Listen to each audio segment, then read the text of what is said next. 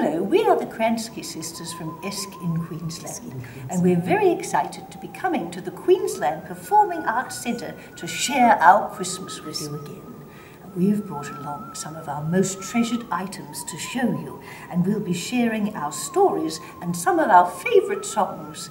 So please come along and join in a very Kransky Christmas.